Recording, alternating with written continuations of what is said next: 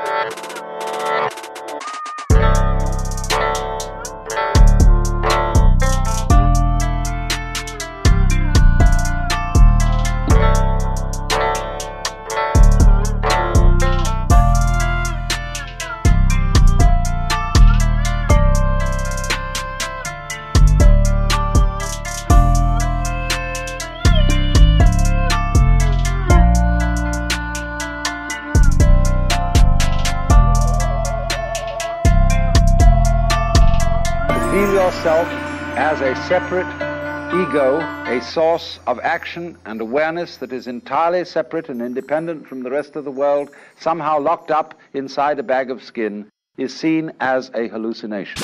Man-child?